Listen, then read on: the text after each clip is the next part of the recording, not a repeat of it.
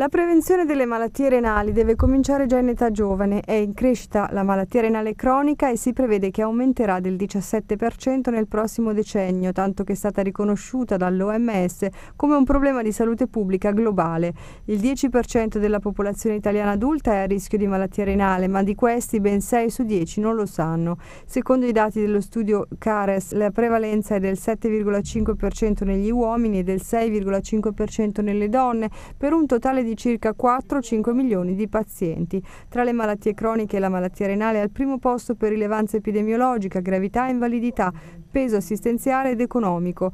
Ad esserne colpiti sono anche molti bambini che possono essere a rischio già precoce. Tra gli 8 e i 13 anni lo studio Italkid ha riportato un'incidenza di 12,1 casi per anno per milione di abitanti e una prevalenza di 74,7 per milione. Chi soffre di una malattia renale inoltre ha una probabilità maggiore di sviluppare un infarto e costi di queste patologie rappresentano una cifra enorme, dall'1 ai 2 punti di PIL. È necessario quindi fare prevenzione di primo livello. Per capire se c'è un rischio di danno renale basta un esame delle urine e un controllo della pressione. Quest'ultima quando è troppo alta mette a rischio i reni così come il cervello e il cuore. Purtroppo non c'è un segno preciso, un dolore riconoscibile che possa aiutare a capire che serve intervenire precocemente, ma quando iniziare i controlli? Secondo Roberto Palumbo, direttore della unità di nefrologia e dialisi dell'ospedale Sant'Eugenio di Roma, l'analisi delle urine è uno straordinario strumento per capire molte cose e a meno che non ci siano malattie in corso basta ripeterlo una volta nell'età pediatrica, uno in adolescenza e dopo i 50 anni una volta all'anno.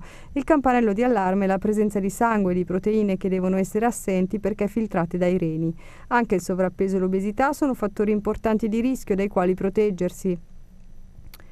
Molte patologie renali sono completamente curabili, altre possono essere stabilizzate sia pure con gradi diversi di compromissione funzionale, altre ancora evolvono verso l'insufficienza renale terminale con la conseguente perdita quasi totale della funzione degli organi.